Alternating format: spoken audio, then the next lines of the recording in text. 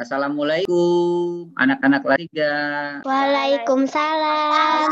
Waalaikumsalam. Apa kabar kalian semua sehat ya? Sehat.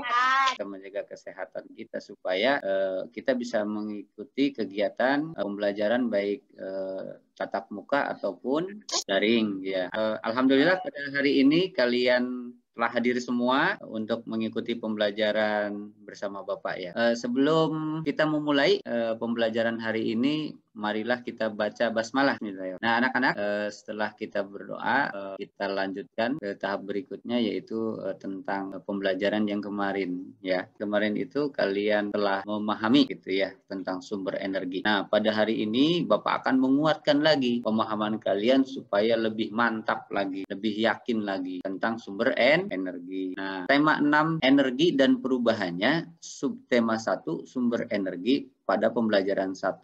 Ini materi uh, yang kita pelajari. Nah, ya tentang sumber energi tentunya ya. Nah, kemudian tujuan pembelajaran uh, kita yaitu dengan membaca teks siswa dapat mengidentifikasi terkait sumber energi dengan tepat. Kemudian kita, uh, eh, kalian dapat mencari informasi tentang sumber energi dengan tepat juga. Nah, anak-anak, masih ingat ya ini ini kan uh, kalian ingat ini Siti ya kemarin yang diceritakan oleh Bapak ya.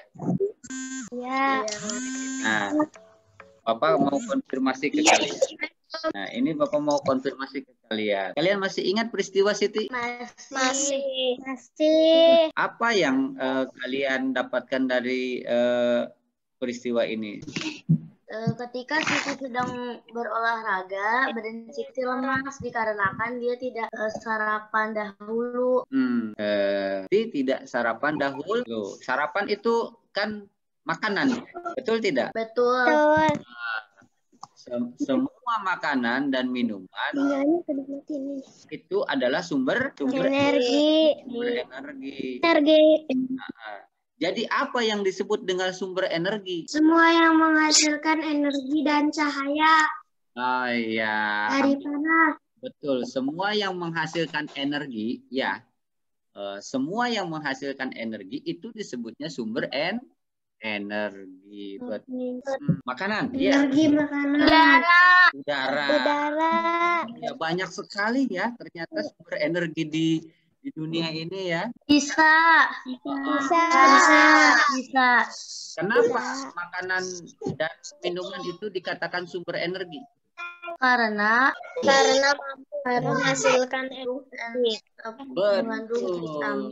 Benar sekali. Karena tumbuhan dan makanan atau e, minuman itu dapat menghasilkan energi. Makanya energi. Hmm, makanya disebut energi.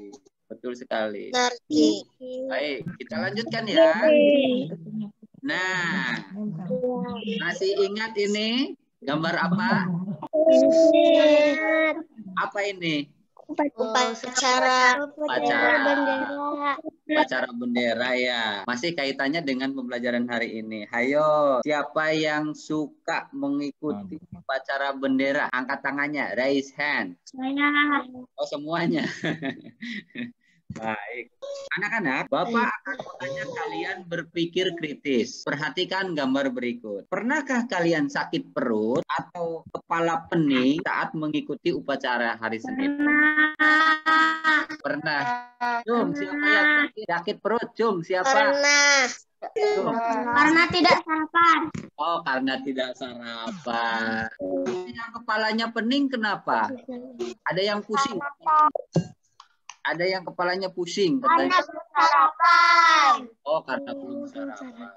Ya, sarapan akhirnya jadi tubuh kita kenapa? Kalau kita tidak sarapan apa apa yang terjadi dengan tubuh kita? Lemas. Lemas. Lemas. Lemas. Nah, bagaimana agar kita dan mengikuti lagi upacara bendera? Harus apa? Dengan cara kita, kita harus makan bergizi harus sarapan. Hmm, kita harus sarapan. Minum teh ya seperti Siti ya dikasih sama Bapak Guru ya. Uh, Bapak punya lagu. Uh, tolong didengarkan mudah-mudahan lancar nih. Let's go.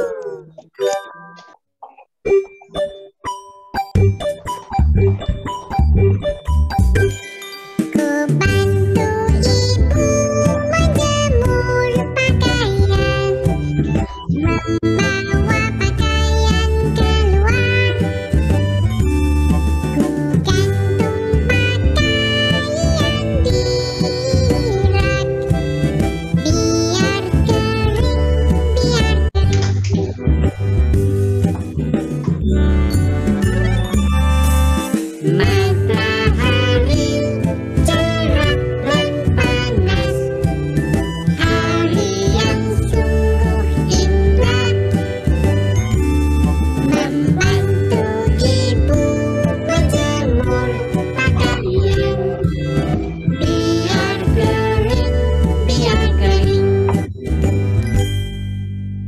bisa didengarkan?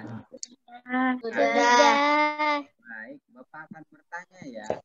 Anak-anak, mulai pembelajaran hari ini, perhatikan tadi kalian sudah perhatikan videonya ya, yang Bapak sajikan. Apa yang diceritakan video tersebut? Apa yang diceritakan pada lagu tersebut? Sumber energi dan cahaya matahari. Raise hand satu-satu, satu-satu. Siapa? Siapa dulu? Membantu ibu menjemur pakaian. Betul, satu. Siapa lagi? Menjemur pakaian Dari matahari. Ah, ini. Arwah coba bisa diulang? Sumber energi dari matahari. Hmm. Dari matahari. Iya, itu adalah salah satu manfaat sumber en energi. Manfaatnya apa? Coba. Energi. Ya apa coba tadi manfaatnya? Saya pakaian kering. Coba. Pakaian kering. Ah, ah. Berpakaian. Dengan adanya matahari sebagai sumber energi, kita bisa mendapatkan manfaatnya. Salah satunya yaitu eh, seperti yang di- disampaikan pada lagu tersebut, yaitu menjemur pakaian. Gitu. Nah, pertanyaan Bapak, coba kalian cari manfaat sumber energi lainnya. Menghasilkan sinar ultraviolet yang jika menyentuh permukaan kulit mengubah tubuh menjadi vitamin D. Ya, boleh. Siapa lagi yang mau menambahkan? Bagus sekali Arwah. Siapa lagi? Sudah. Menghasilkan fotosintesis bagi tumbuhan. Wah, mantap, bagus sekali. Jawabannya. Menghasilkan energi cahaya dan panas. Hmm. Ah, dilengkapi lagi sama Arwah. Bagus. Ya, Cahaya baik. dan panas matahari merupakan sumber kehidupan di bumi. Hmm, hmm, hmm. Iya, betul sekali. Wah, banyak sekali ya, beragam ya. Baru dari matahari kalian sudah bisa mengeksplor, menggali potensi eh, apa namanya materi dari manfaat matahari. Coba kita tingkatkan lagi ke pembelajaran berikutnya ya. Nah, eh, coba kalian perhatikan ini. Apa ini yang kalian lihat di layar kalian? Kalian tahu kira-kira air terjun ini bisa dimanfaatkan tidak untuk Bisa. bisa ya? Kenapa bisa dimanfaatkan? Karena air merupakan Karena sumber energi. sumber energi. Betul sekali. Karena air Sumber energi. bisa dimanfaatkan. energi. Apa coba? Manfaatnya apa contohnya? Bisa disebutkan? Pembangkit listrik. Bangkit listrik. Boleh, bagus sekali. Untuk minum. Minum, bagus. Apalagi? Itu yang di sawah tuh, yang di sawah. Untuk. Untuk tumbuhan. Untuk memasak. Oh, banyak ya. Banyak Untuk mengaliri sawah.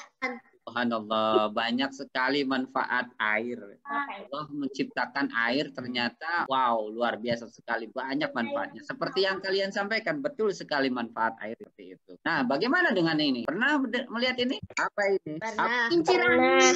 Kincir angin?